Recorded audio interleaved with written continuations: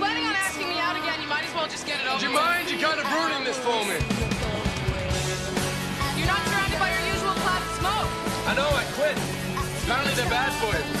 You think? You know, these guys that know Bikini Kill or the Raincoats, they're not bad.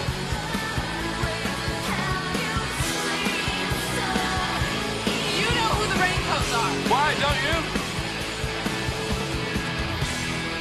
I was watching you out there before. I've never seen you look so sexy.